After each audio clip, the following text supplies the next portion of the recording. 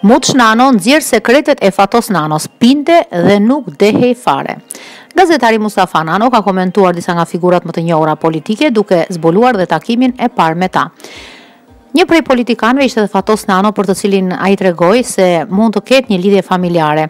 Ai ka zbuluar se për herë të parë janë takuar në aeroportin e Vjenës. M'u drejtua vetë dhe më tha, "Zoti Nano, je duke e nderu, nderuar mbiemrin."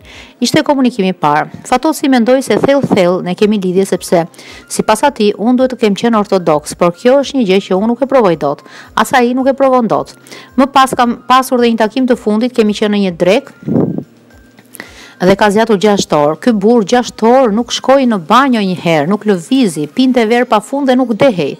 Kishte një gjendje konstante humori, kishte energji të jashtëzakonshme lokal, lokali dhe personazhe interesante, u shpreh Mustafa Nano.